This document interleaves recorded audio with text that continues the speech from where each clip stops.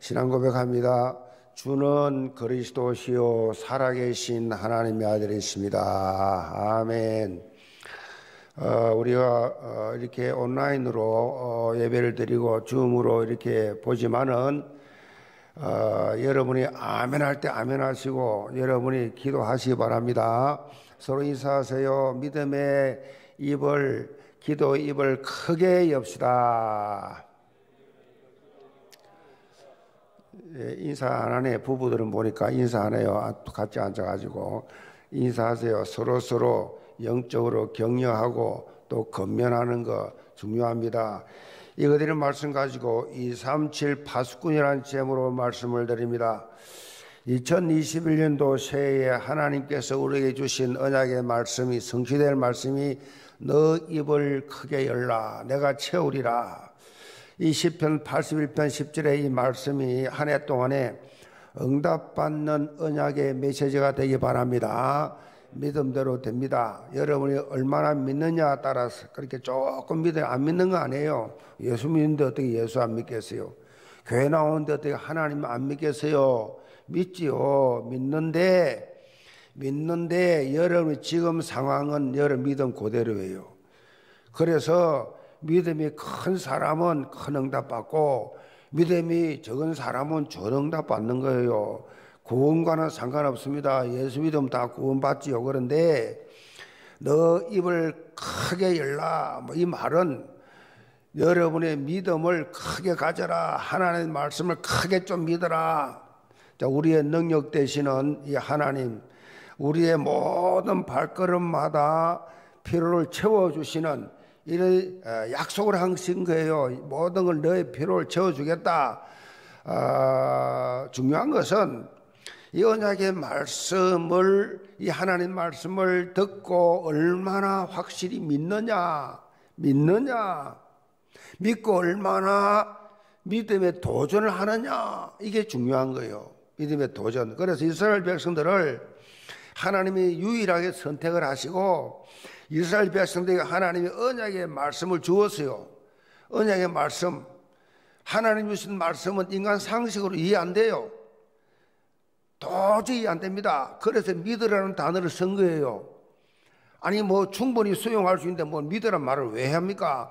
그런데 이스라엘 백성들을 선택해서 하나님의 살아계심과 하나님의 전능하심 보여주려고 여러 사건 문제 속에서 날 믿어라! 그러면서 말씀을 주었는데 안 믿어요.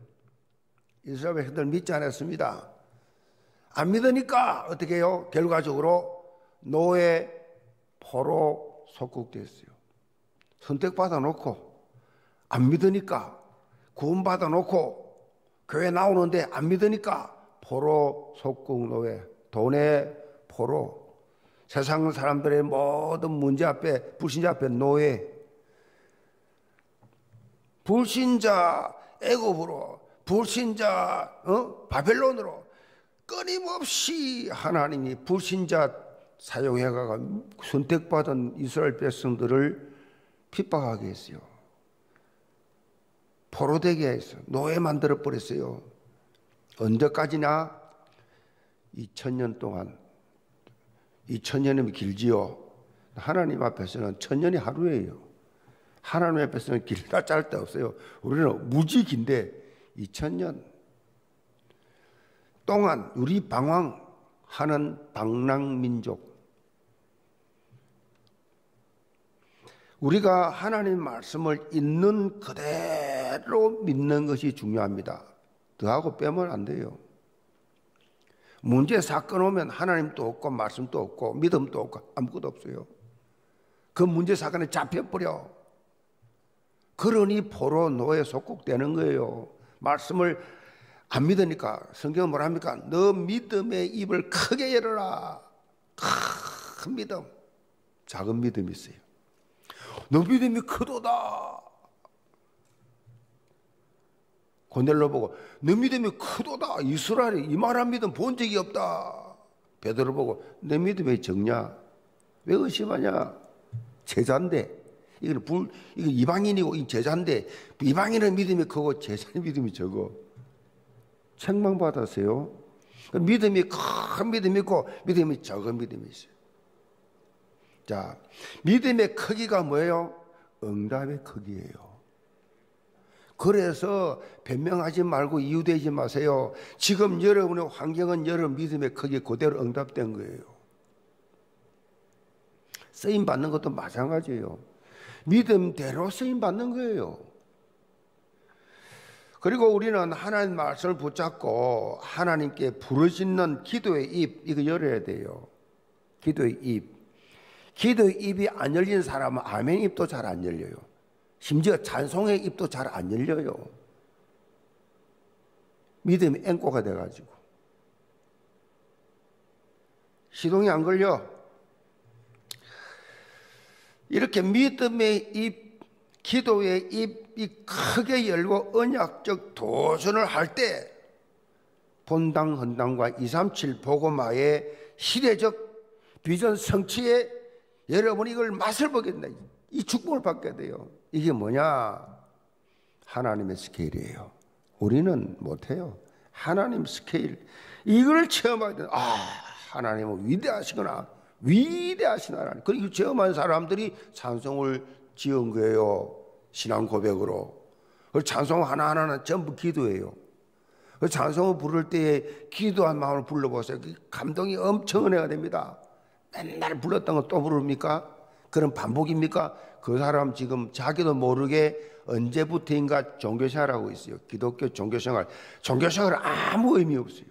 피곤하기만 해요. 힘들기만 짜증나요. 종교 생활의 결론입니다. 하나님의 스케일. 무엇보다 지금 작정 헌금 일구좌 먼저 드리기를 통해서 본당 헌당의 이 지금 70인 이 first move를 통하여 이, 이 현재로 지금 이렇게 이 movement 일어나고 있어. 전 교인 일구좌 먼저 드리기 운동, 본당이 탄력을 받게. 본당 헌당이 탄력을 받아. 그래서 마음껏 이 교회가 세워진 이 교회를 하나님이 세우신 목적 237 보고마 이 일에 난 가졌다 못 가졌다 있다 없다 했다 안 했다 중요한 게 아니에요. 이거 끝나면 무조건 다 그렇게 전시를 향하여 나아갈 수 있는 그런 시간표 오는 거예요. 특별히 2021년 우리는 영화를 열고 내가 누구냐?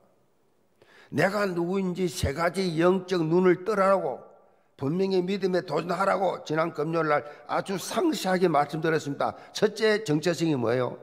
내가 누구냐 정체성 이거는 보좌의 축복과 힘을 잃은 237 영적 통신망의 파수꾼이 되라 그랬어요. 통신망 아시죠? 나를 통해서 참 나를 통해 영향이가 이 일에 잠자지 않고 깨어있는 파수꾼 파수꾼은 졸지도 않고 잠자지 않습니다. 깨어있는 영적으로 늘 깨어있는 영적 깨어있는 둘째 정체성이 뭡니까? 전 세계를 치유하는 영적 의사 여러분은 영적 의사예요. 아멘. 여러분을 만나면 살아나지 않습니까? 여러분까지 복음 가지고 복음을 전가하면 그 영혼이 살아나지 않습니까? 영혼이 살면 영혼이 잘 되고 범사가 잘 되고 강건해지고 모든 거 해결되는 이런 놀라운 비밀을 여러분 자신이 가지고 있는 걸 아셔야 돼요. 여러분이 듣는 복음, 여러분이 받은 훈련, 여러분이 가진 이, 이 성경 지식이 얼마나 어마어마한 줄 아세요? 종교인들 아무도 몰라요. 유명한 지식 많은 학식 있는 분들 말해보세요. 못 알아듣습니다. 못 알아들어요. 237 보고 막 237도 못 알아들어요. 그래서 제가 매주 토요일이 되면 기독신문에, 기독신문에 설교 제목이 나갑니다. 설교 제목이 뭐 전국에 있는 게 목사들 사이에 이렇게 들어가는데 이, 이 설교 제목을 이번 주에는 237 파수꾼 이걸, 이걸 내야 되겠는데 237 파수꾼 하면 일반 사람들 못 알아듣잖아요. 그래서 제목을 바꾸었다고. 우리 교회 설교 제목 안 바꾸고 신문에 나가는 제목은 영적 파수꾼 그래 바꿨어요. 못 알아듣습니다. 같은 목사인데, 같은 예수 믿는데, 이 영적 비밀, 237 영적 통신만 파수꾼, 이 어려운 어떻게 알아듣겠어요? 못 알아듣습니다. 알아듣는 것만 해도 여러분은 그리스도의 제자예요. 영적 의사다. 알아들었습니까? 아멘 하면 제자예요. 아, 내가 영적으로 치유하는 의사구나. 셋째 정체성이 뭐예요? 전 세계를 움직이는 서밋 대사라 그랬어요. 전 세계를 어떻게 움직입니까, 우리가? 어? 이 조그만 땅에 사는 우리가 아무 힘도 없는 내가 어떻게 움직입니까? 예수 그리스도께서 완성해 놓으신 삼중직의 축복입니다. 이 삼중직의 축복, 그 신분과 권세와 함께 영적 배경을 가지고 이 보좌의 축복을 누리면서 237 영적 통신망을 통해서 전 세상을 변화시켜 나가는 삶을 우리는 살 수가 있어요. 이거를 지구촌에 이 비밀을 알고 기도하면서 준비하는 교단, 교회 없습니다. 거의 없습니다. 여러분 이걸 모릅니다. 아예 용어 자체도 못 알아듣습니다. 되고 안 되고는 우리는 상관없어요. 우리 기도 제목 나가면 하나님 알아서 인도해 주실 거예요. 그게 믿음이에요, 믿음. 야, 너 믿음이 크구나. 개뿔도 없으면서, 가진 것도 없으면서, 배운 것도 없으면서, 237 나를 살기 위한 영적 통신망으로 나를 파수꾼으로 사용하여 주옵소서. 엄청난 기도예요. 하나님 그 기도 들으면서 얼마나 기분이 좋게 마음이 시원하시다고. 그래. 내가 무식한 어부들 데리고 세계보험 한 것처럼 내가 너를 사용하리라. 이 세 가지를 통합하면 오늘 제목처럼 하나님의 부르심을 받은 영적 파수꾼 237 파수꾼이요. 237. 그래서 이 사명을 우리는 감당해야 된다. 나를 보지도 말고 나를 보고 세상을 보고 환경을 바라보면 다 속아요. 다 속아요. 성경에 나오는 믿음의 인물들을 보세요. 정말로 별 볼일 없는 사람들. 거의 다. 그런데 다 믿음 하나 가지고 믿음으로 아브라함은 믿음으로 해놓고 믿음으로 믿음으로 하나님의 말씀 믿은 자만 사용했어요. 지금 우리는 여전히 코로나19 팬데믹 속에서 살아가고 있습니다. 당장 우리가 다른 나라를 이동하는 것 자체도 어렵잖아요. 못 갑니다, 지금. 갈 수도 없어요. 대면 만남 그 자체가 제한적입니다. 그런데 어떻게 237 복음을 이룰 수 있단 말인가? 그래서 중요한 것이 237 영적 통신망이에요. 통신망. 제가 알루트시 대표잖아요. 알루트시 방송은 24시간 전 세계에 다 가고 있어요. 그러니까 우리 전 세계에 사는 저 러시아, 캄차카, 참뭐 지금 뭐 전 아프리카, 남미 전 지역에서 그 방송 보면서 힘을 얻고 있다니까요. 그 여러분 해외를 가보면 저 남미, 저 아프리카도 우리 부르는 다락방 찬양 똑같이 불러요. 똑같이 불러요. 왜? 알투시 방송 통해서 배우고 듣고 하니까 또 메시지 흐름 똑같이 잡고 있어요. 이 통신망, 영적 통신망. 우리가 이를 위해서 기도하고 이 일을 위해서 가장 크게 쓰임받는 영교회. 아멘. 그거 아셔야 돼요. 매일 기도하잖아요. 지구를 한 바퀴 돌잖아요. 영적 통신망. 기도로서 쫙 성교 사람들을 위해서 쫙 기도하고 돌면 지구 한 바퀴 영적 통신망. 영적으로 하늘 보좌 축복과 237 나라와 내가 연결되는 것이 영적 통신망이에요. 영적 통신망이 이루어진 시간이 언제냐? 그것이 바로 예배 시간입니다. 예배 시간. 예배 시간은 하늘 보좌의 축복과 힘을 얻는 시간이에요. 그리고 그 보좌의 축복은 말씀과 기도를 통하여 나와 연결, 나와, 나와 연결이 되고 237 나라로 확산되는 거다. 그래서 사단이 제일 무수한 것이 뭐냐? 예배예요. 그래서 저 김일성이 내려올 때도 6.25 때도 예수, 145 때도 참 예수 믿는 사람만 잡아줘요. 교회 다문다 다 불태워버려요. 일본 사람들 36년간 우리나라를 핍박할 때 가장 먼저 핍박한 것이 교회요, 교회. 예수 믿는 사람 다 잡아놔, 다 죽여버리고, 다 문 닫아 불태워버리고. 왜 그러시면 예배 못 드리도록, 예배 드리면 죽여. 예배가 가장 사단이 싫어하는 거예요. 하나님을 예배하니까 기분 나쁘잖아요. 우상 숭배하는 것들은 가만 자기 예배하니까 놔두고 하나님 예배하는 자들만 차다다니며 쪼죠. 그러니까 예배 거의 다 실패해버려. 예배 시간 졸고 있고 예배 시간 딴 생각하고 예배 시간 코로나19를 예배 못 드리도록. 지금 기독교 연합해서 막 신문에 대문자 같이 냅니다. 왜 교회를 핍박하냐? 왜 교회가 교회 예배도 얼마든지 다 주, 우리가 조심해서 예배드리면 되는데 왜 예배를 더 교회를 더 그렇게 핍박하냐고 난리를 찌고 있잖아요.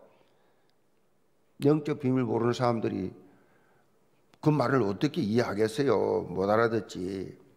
그래서 여러분이 2021년 한 해 그 어떤 시간보다도 어떤 시간보다도 사단은 이 끊임없이 이렇게 우리를 이 모양 저 모양으로 예배 못 드리고 핍박하지만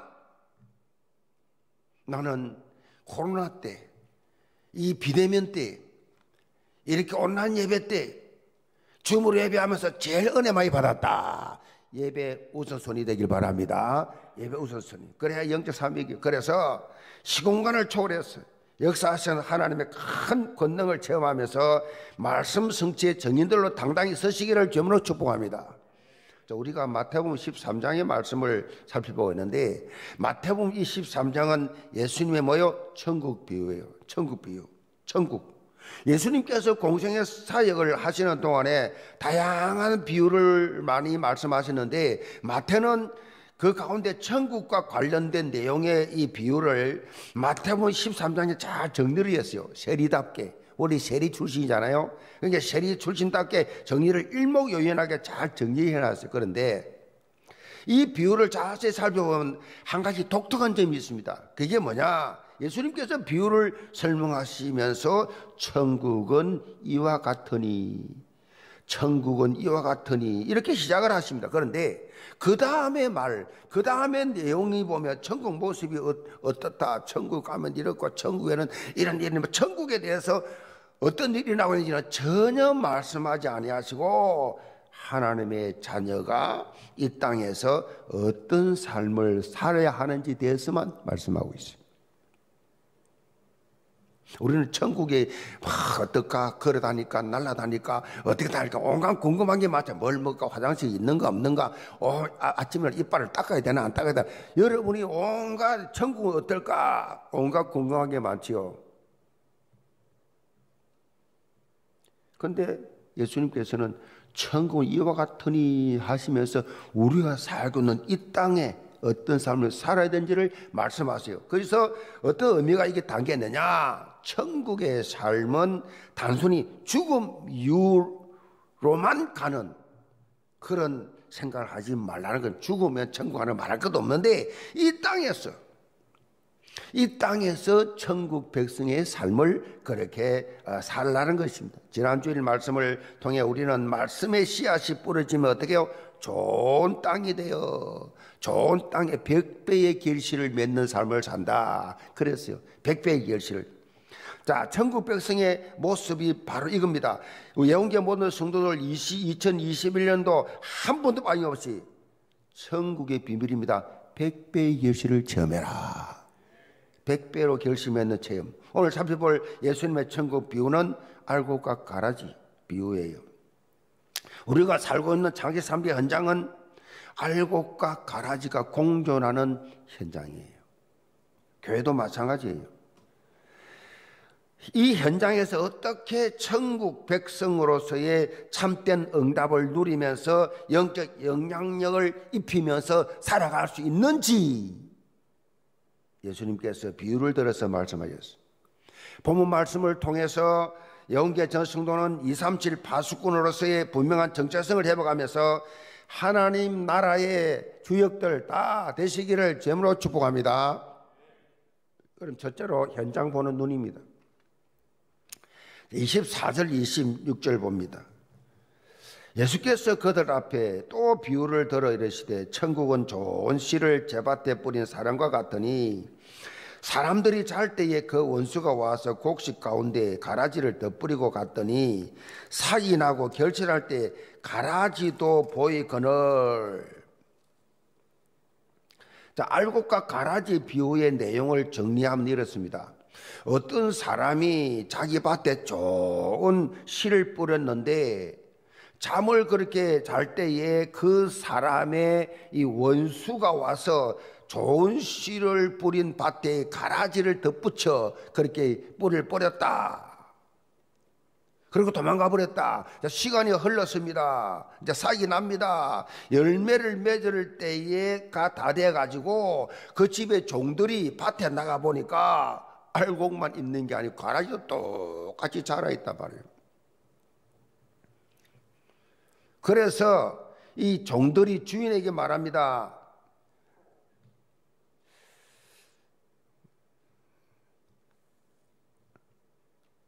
나가 보니까 주인이요 밭에 나가 보니까 알곡만 있는 것이 아니고 가라지도 같이 있습니다.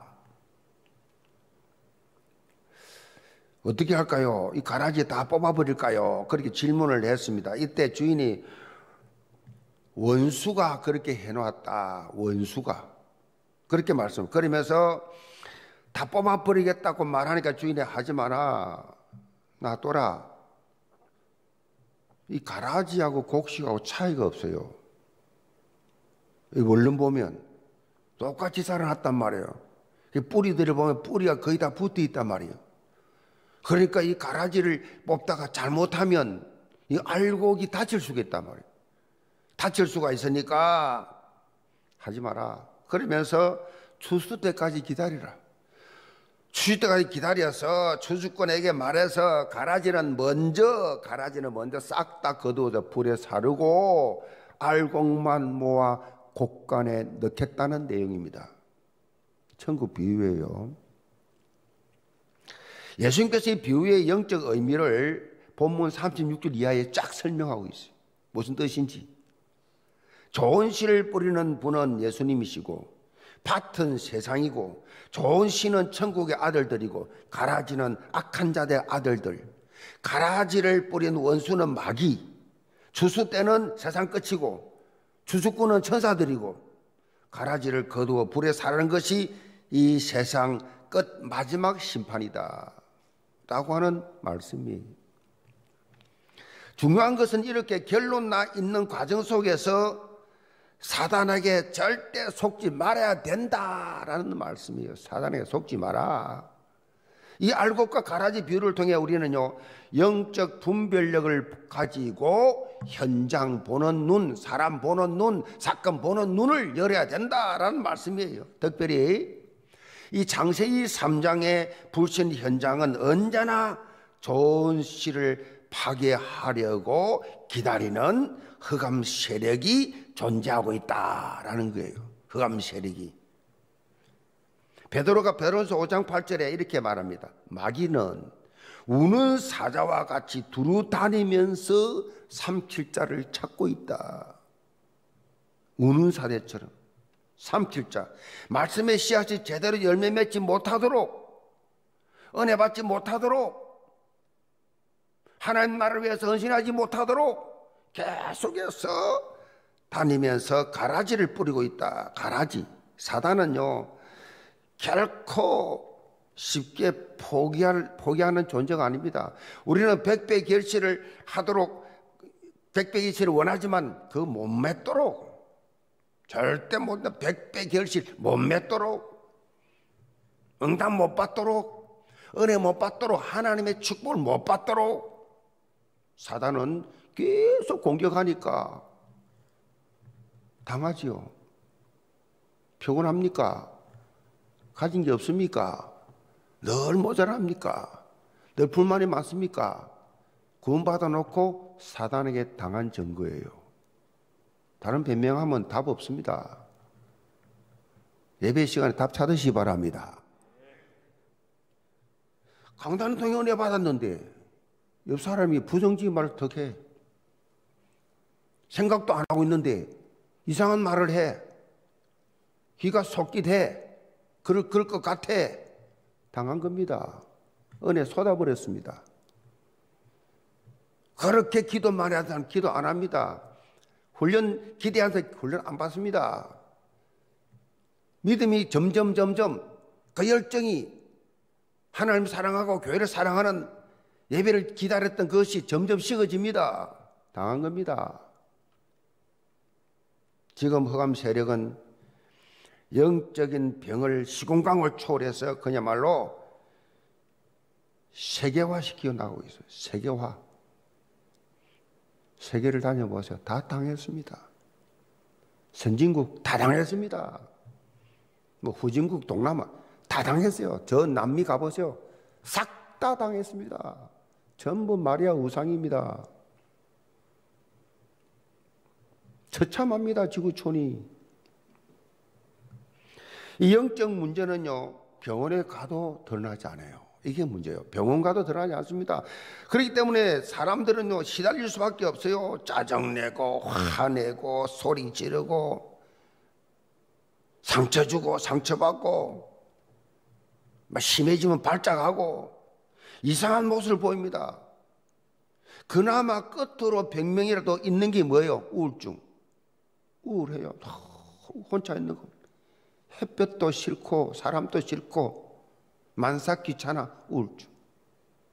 진단이나 나옵니다. 이거는 그래도 조울증, 조현병, 공황증 이런 정신병 이런 과학적이고 의학적인 도움을 받으면 이런 것들은 어느 정도는 회복될 수 있어요.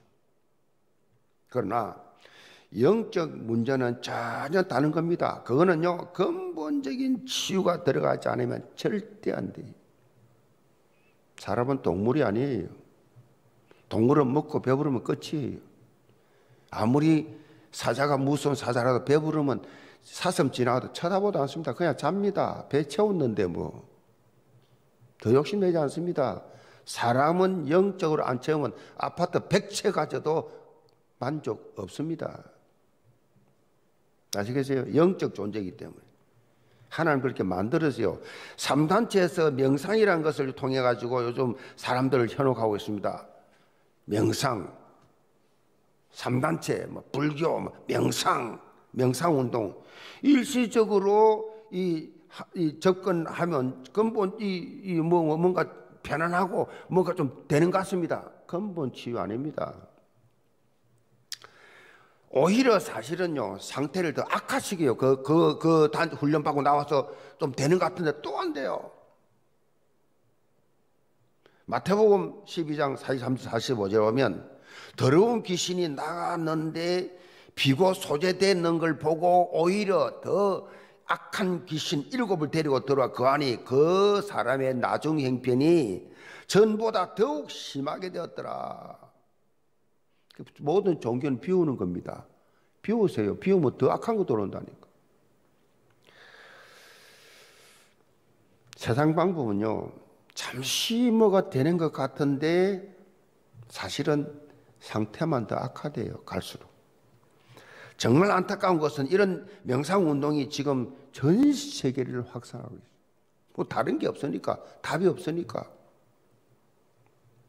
발버둥 치는 겁니다. 그래서 우리는 영적인 본질 문제를 해결하는 힘을 가지고 있어야 돼. 영적 본질 문제 해결하는 힘, 사단과 있는 힘, 이런 많은 시달리는 사람들을 치유할 수 있는 힘 어디 있느냐? 그게 바로 말씀의 힘이에요. 하나님의 말씀을 내가 얼마나 가지고 있느냐?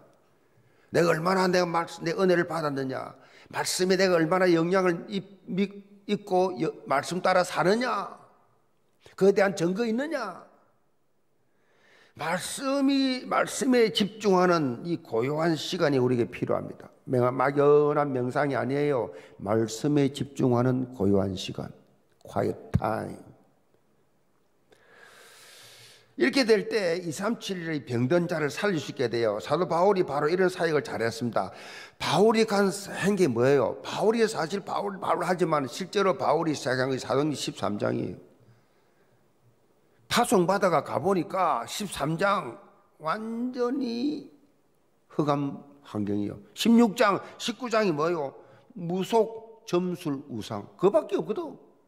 그 당시에 뭐 이방인들을 위해서 선교하러 나가보니까 선교지 가니까 전부, 전부 있는 게 무속, 점, 점수라고 우상밖에 없단 말이에요. 그게 다 문화에서. 여기 사로잡혀 있는 심각한 영적 문제 있는 자들을 하나님의 말씀으로 전부 다 지어 살려내잖아요. 바울이 말씀으로 바울이 뭐 한 게 뭐 있어요? 뭐 신윤사 받았습니까? 뭐뭐 뭐 다른 거 아니에요. 하나님의 말씀으로 참 치유해. 사단이 시공간을 초월해서 문제를 일으키는데 복음으로 다 막아버려. 말씀으로 막아버려. 그래서 바울을 시대적 대표적 기민적 축복받은 사람이다. 그렇게 말하지요. 말씀입니다.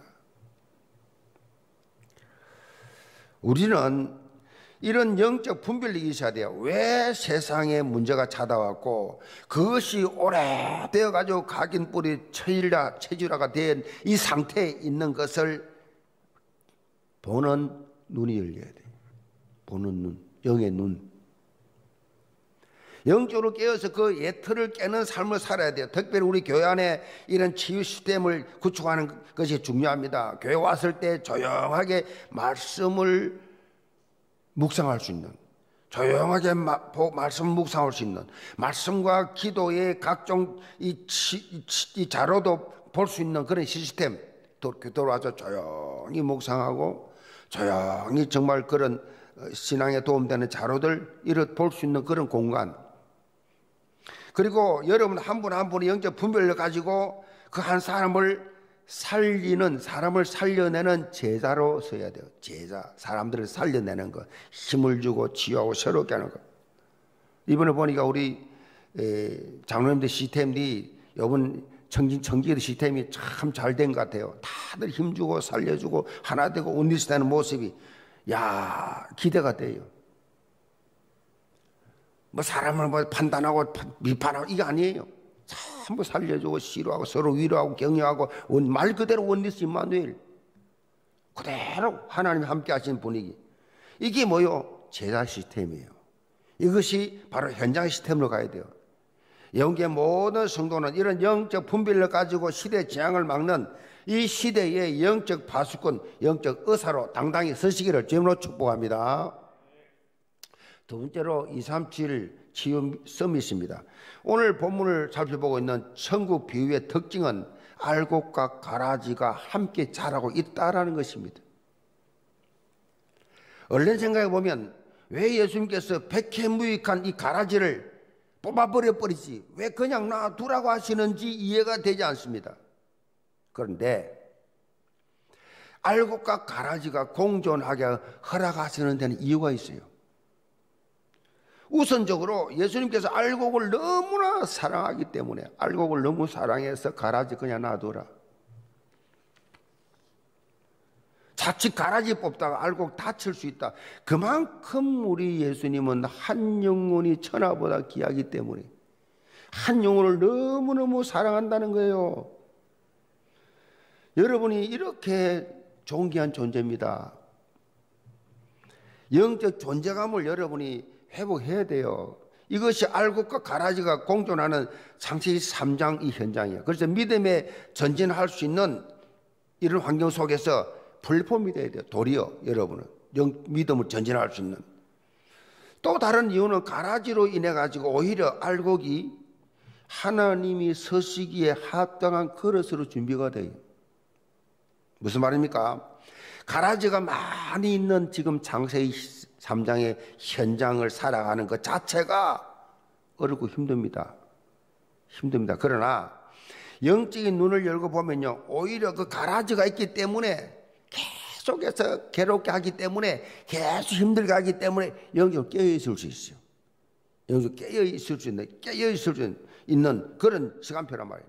여러분, 모를 심잖아요. 모를 심을 때 논에 가보면 미꾸라지를 넣어 기릅니다. 미꾸라지 동시에. 미꾸라지 기름을, 이, 이 미꾸라지를 많이 넣어 키우는데 그 미꾸라지의 천적인 메기가 있어요. 메기도 함께 넣어요. 함께 넣어, 넣어버리면 이 미꾸라지들이 정말로 살이 통통하게 그냥 품질이 좋은 미꾸라지로 수확을 할 수 있다 그래요. 왜냐? 얼핏 생각해 보면 아니 메기가 미꾸라지 다 잡아먹지 않겠냐라고 생각할 수 있는데 그렇지 않습니다. 미꾸라지들이 살아남기 위해서 메기를 피해 살아남기 위해서 막 더 많이 먹고 더 많이 활동하고 더 많이 민첩하게 움직이니까 더 튼실해지고 더 그 개체 수가 확실하게 증가한다는 거예요. 기업 경영에도 이 원리를 적용해서 매기 효과라라고 하는 경영 원리가 있습니다. 매기 효과. 영적으로도 이런 효과 가 있습니다. 문제와 사건이 있습니다. 문제와 사건이 오면 문제와 사건이 오면 문제 사건이 뭡니까? 사람 똥이 옵니다. 사람 때문에 오면 그걸 어떻게 해요? 영적인 눈을 열고 복음적으로 해석을 해야 돼요. 복음적으로.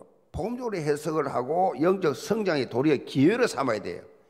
이 사람 때문에 내가 기도할 수밖에 없고 이, 이 사람 때문에 내가 괴로움을 당하지만은 억울함을 당하지만은 이 사람 때문에 내가 하나님 앞에 하나님을 바라볼 수밖에 없고 더 영적으로 깨어 있을 수 있는 더 성경할 수 있는 그런 연단의 기회를 보면 되는 겁니다. 그렇게 연단의 기회를 보세요. 특별히 교회라는 공동체 속에 가라지 있습니다.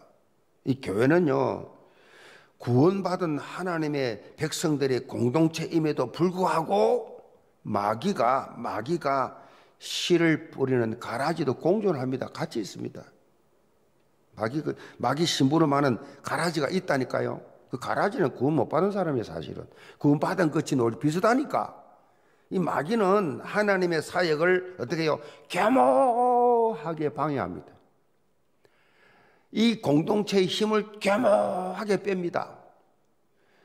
은혜를 겸허하게 삭제시켜요. 겸허한 방법으로. 너무 들키면 쫓겨나니까 그게 아니라 아주 안 들킬 정도로 겸허하게 이 교회가 하나 되는 일에 이 교회가 헌당하는 일에 이 교회가 237 성교하는 일에 겸허하게 방해 공작을 해요. 방해 공작을 합니다. 힘 빼기 작전. 그것도 중요한 사람들에게 그럽니다. 뭐 아무것도 안 하는 사람들 왜 건드려요? 아무것도 안 하는 사람 안 건드립니다. 교회 아무 직분도 없고 아무것도 안 하는 사람은 아무 갈등도 없어요. 마귀가 안 건드리냐 증거요. 직분을 맡다 하면 시험이 듭니다. 왜? 사단을 공격하기 때문에. 그 이 직분 믿음 없는 믿음이 연약한 자들은 하면 안 되지요. 막 공격당해가지고 막 시험 들어버리죠. 왜? 자기 중심이니까. 자기 이름 때문에 자기 자존심 때문에 하는 거니까 다 무너지지요. 사단이 계속해서 겸허하게 그렇게 방해 공격합니다. 사실 우리가 쉽게 가라지를 구별하기는 어려워요. 지 가라지 아니냐 어렵습니다. 그 함부로 말할 수 없어요. 그리고 교회 안에 누군가 이상하게 행동을 하고 이상하게 보기 시작하면 저 사람들 아무래도 이상하네. 그럼 같이 당해요. 아시겠어요? 같이 당한다고. 오히려 우리는 어떤 눈을 가져야 돼요? 복음의 눈, 긍휼의 눈, 긍휼 아시죠? 불쌍히 여기는 주님의 눈입니다. 불쌍히 여기는 영적으로 그 눈을 가져야 돼요. 그 복음의 눈, 긍휼의 눈 가지면 다 정리돼요. 제가 말씀드리지 않습니까?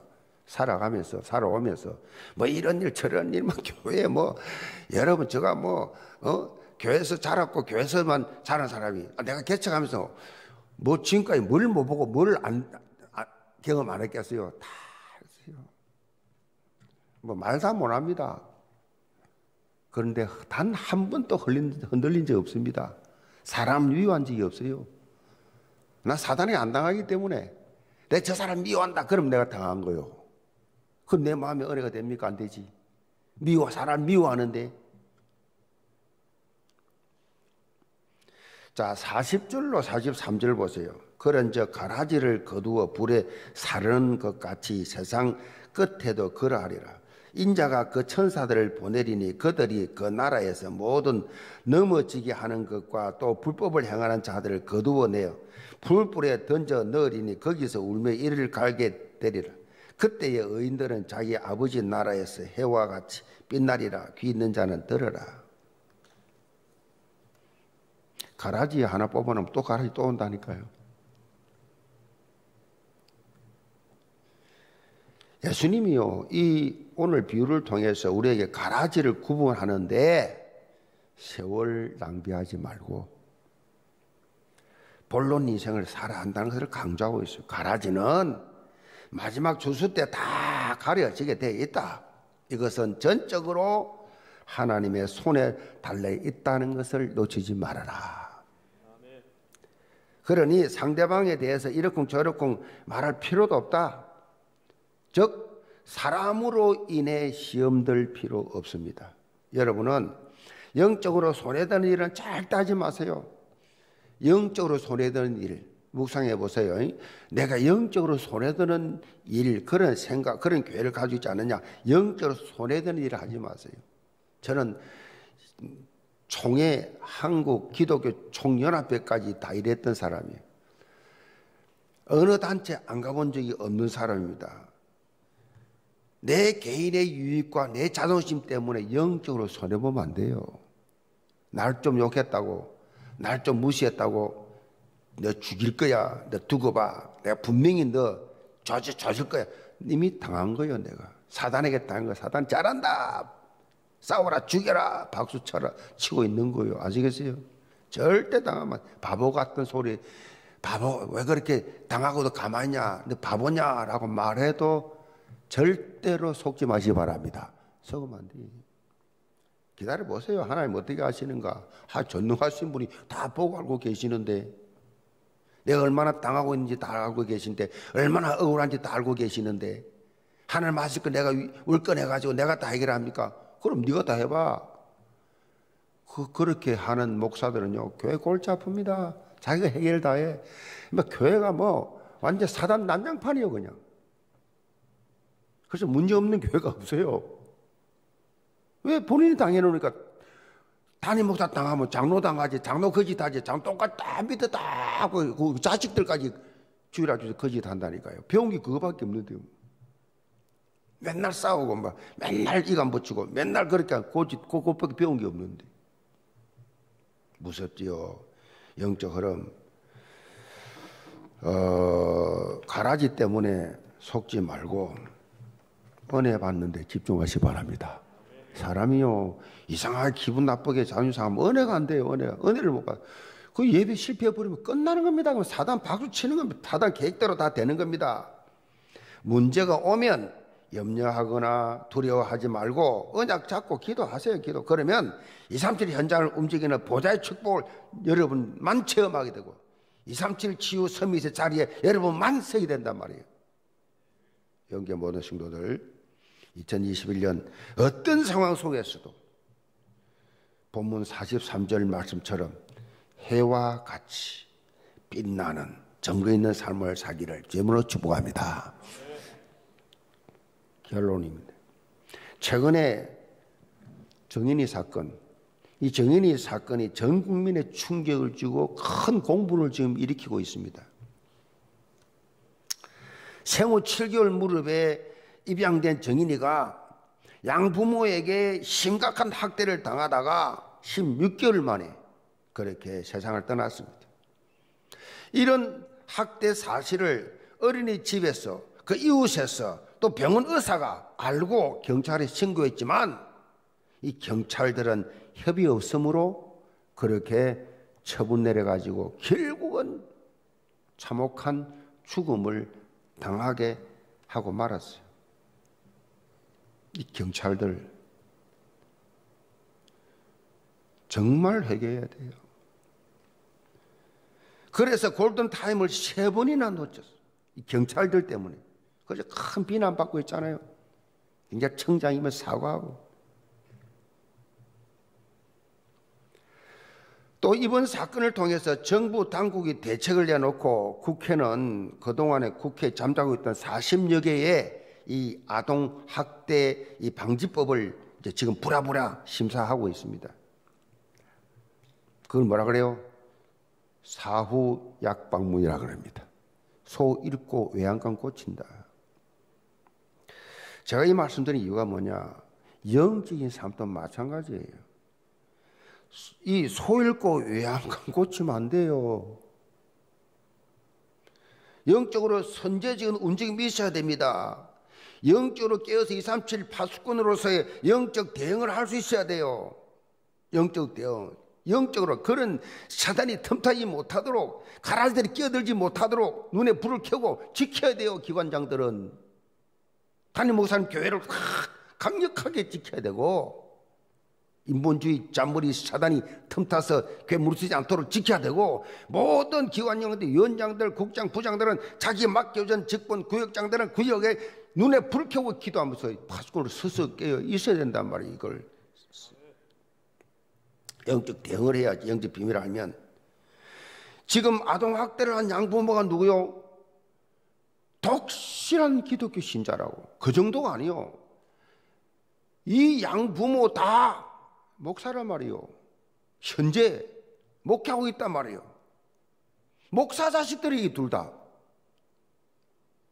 그리고 최고의 학벌 나온 한동대 캠퍼스 커플이에요. 이 엄마는 누구냐? 통번역 대학원 나온 아주 최고 엘리트예요. 엘리트는 뭐합니까? 영적 문제 걸려보니까 사단에 잡혀버리니까 이런 국민이 충격을 받는 불신자가 충격받는 이 짓을 독실한 크리스찬이 목사 감 목회자 가문이에요.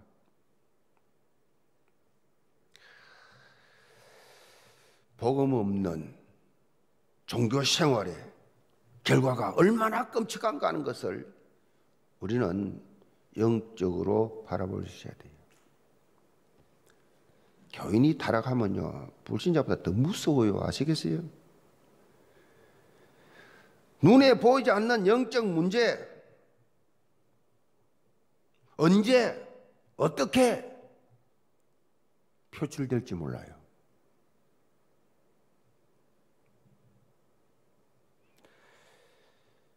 영계 모든 성도들 그래서 237 영적 파수꾼 이 말이 파수꾼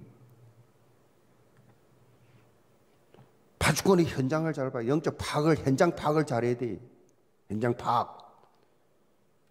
직분을 맡겨주셨다 이 말은 직분에서 내가 영적 파수꾼으로 내가 통신망으로 정신 바짝 차리고 깨어서 깨어서